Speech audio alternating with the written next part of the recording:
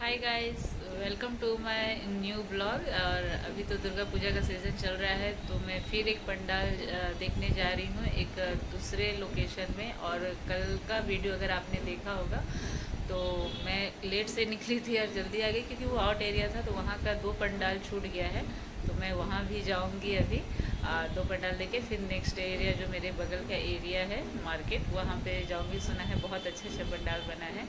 आज मतलब इस बार ज़्यादा दूर तो नहीं जा पाई, जैसे श्री भूमि वगैरह। बट पास का ही सुना है बहुत अच्छा अच्छा बना है। तो चलिए, आप लोग को नेक्स्ट पंडाल दिखाते हैं दूसरे लोकेशंस का।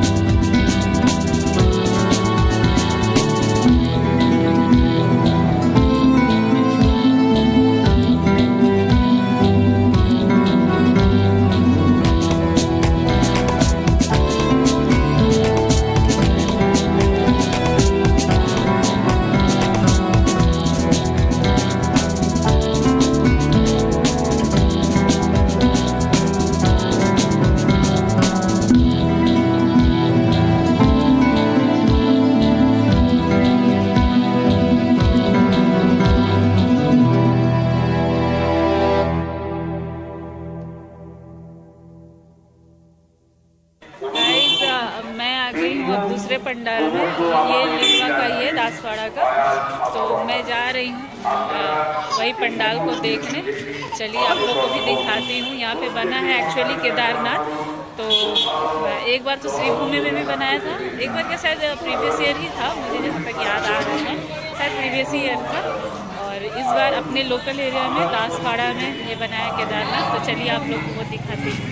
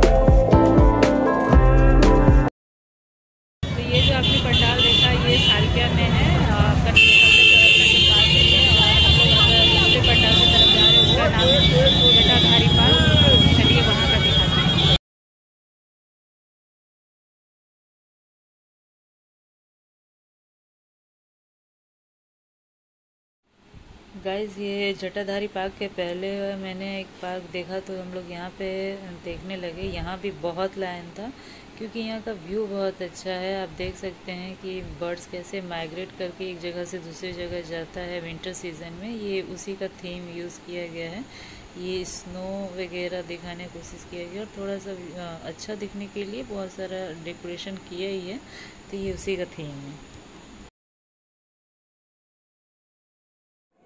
गाइस यहाँ पे मैंने आवाज़ जो है म्यूट करके रखा हुआ है बैकग्राउंड का बिकॉज़ यहाँ पे एक सॉन्ग चल रहा था, जिसके कारण कॉपीराइट आया मैंने जब अपलोड किया तो। तो मैंने इसे वापस से फिर डिलीट करके, मैं एडिट करके अपलोड करने जा रही हूँ। तो इस वजह से मैंने हटा दिया है सॉन्ग क्या कर सकती हूँ? कॉपीराइट है तो मुझे हटाना ही पड़ेगा। गैस आप देख सकते हैं, ये पूरा जो थीम है, ये पूरा टिश्यू पेपर्स स्पॉन्ज वगैरह, यहाँ पे बर्ड्स वगैरह जो है, वही सब दिखा रहा है नेचर इन्वायरमेंट कि आप इन्वायरमेंट को पॉल्यूट ना करें।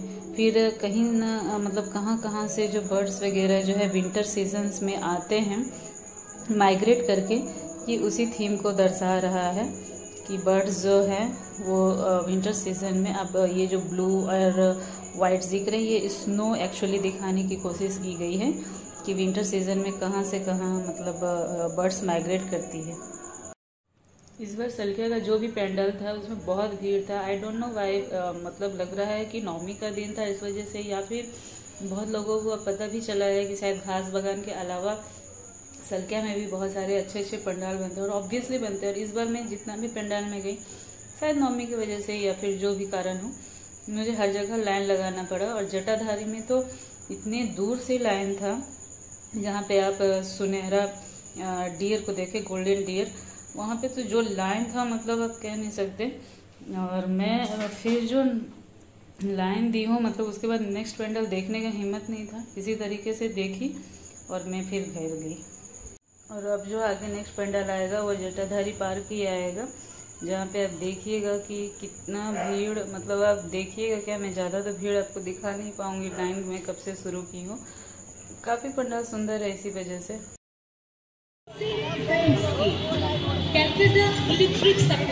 इतना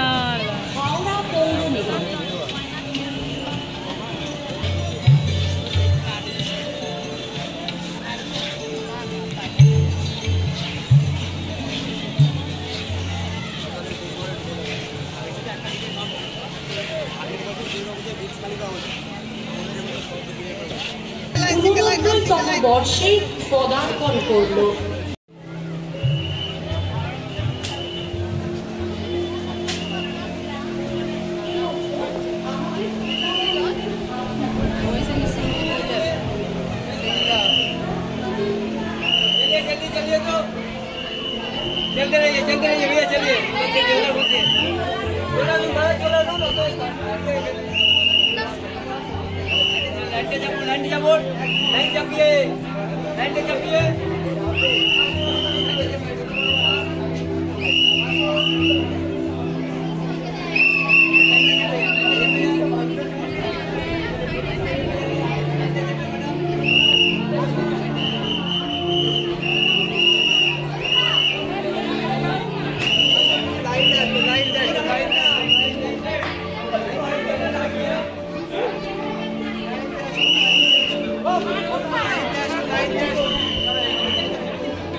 जपिए लाइन जपिए আগে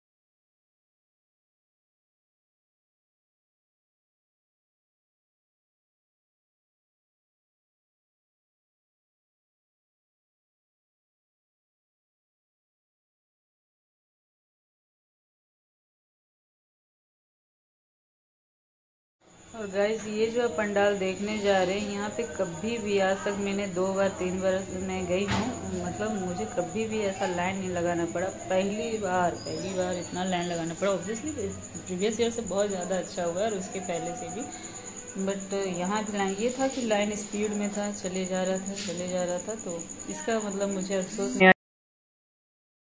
गाइज़ यहाँ का पंडाल बहुत ही अच्छा था बहुत ही सुंदर आप देख ही रहे हैं जैसा कि यहाँ का थीम एक्चुअली ये है कि आप आ, मतलब जो भी ओल्ड्स वगैरह देंगे ओल्ड कंप्यूटर वगैरह उसको मतलब मुझे देखने में ऐसा लगा कि मच्छर वगैरह डेंगू वगैरह बनाने का जो डेंगू मच्छर का बनाने की कोशिश किया गया है आ, पुरानी चीज़ से। और भी क्या क्या थीम था मुझे थोड़ा समझना मुश्किल हुआ। आप लोगों को कुछ अगर समझ में आता है तो प्लीज़ देख के कमेंट ज़रूर कीजिएगा। और यहाँ पे मैंने आवाज़ इसलिए हटाया है बिकॉज़ यहाँ पे बॉलीवुड सॉन्ग्स का हो रहा था। और कोई बच्चे या कोई भी बड़े डांस तो नहीं कर रहे थे, बेवजह बस बज रहा था। तो मैंने इस वजह से आवाज़ हटा दिया यहाँ पर। तो कमेंट सेक्शन में ज़रूर बताइए कि एक्चुअली ये क्या चीज़ का पंडाल है, मुझे समझ नहीं आया थोड़ा बहुत। मैंने यही देखा कि पुराने चीज़ों को यूज़ करके यहाँ पे दिखाया गया है रीयूज़ उसको किया गया है। तो आप ज़रूर कमेंट करके बताइए अगर आपको कुछ भी आइडिया लगता है। यहाँ पे आपको दिख रहा होगा कि ये कंप्यूटर जो है यूज़ है, पुराना है। बट ये देखिए, आप इसको देख सकते हैं कि ये मतलब आपका मच्छर और हाथ मतलब भूत टाइप का ही कुछ थीम लग रहा है। पूरा चीटी है मतलब लग रहा है कि कोई भूतिया टाइप कुछ वैसा है। मुझे तो वही लग रहा है मतलब आप थोड़ा थोड़ा समझिए और मुझे भी प्लीज़ कमेंट में बताइए क्योंकि मुझे इसको जानना है कि एक्चुअली ये क्या था? ये क्या थीम था? मुझे तो समझ ही नहीं आ रहा है। तो मुझे तो एक्चुअली डेकोरेशन बहुत देखिए पुराना सिलेंडर पुराना आपका मे बी रीयूज़ के लिए ये दिखा रहा हो। देखिए पुराने चक्के, पुराने पंखे, पुराने साइकिल मे भी ये रिसाइकल रीयूज़ का ही कुछ थीम हो। मुझे समझ नहीं आ रहा है। प्लीज़ आप कमेंट करके बताइए तो आप यहाँ तक अगर देख ली हो तो प्लीज़ चैनल को सब्सक्राइब कीजिए। वीडियो बनाने में बहुत ही मेहनत लगता है। और प्लीज़ लाइक ज़रूर कीजिएगा और शेयर भी कीजिएगा। और वीडियो कैसा लगा कुछ कमी है तो वो भी प्लीज़ कमेंट करके बताया